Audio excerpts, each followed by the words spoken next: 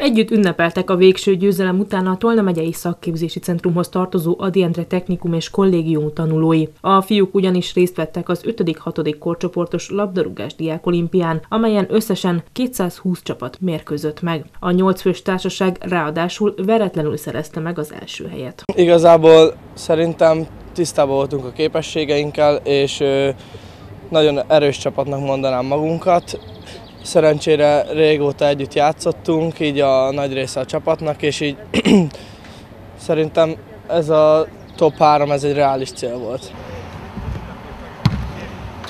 A döntőt a Debreceni Sportcentrumban tartották meg, ahol 20 csapat és összesen mintegy 200 labdarúgó lépett pályára. Először csoportokban mérkőztek meg a csapatok, az Adi Gárdája innen is veretlenül jutott tovább a másnapi fordulóba, ahol keresztjátékokkal dőltek el a helyezések. A fiúk ezen a napon is vereség nélkül a Soproni Belzsenyi Dániel Evangélikus Gimnázium és Kollégium tanulóival szemben szerezték meg a végső győzelmet. Úgy gondolom, hogy a fiúk teljesítményre Szexárdváros Tolna megye is büszke lett, az iskolából mindenki büszke.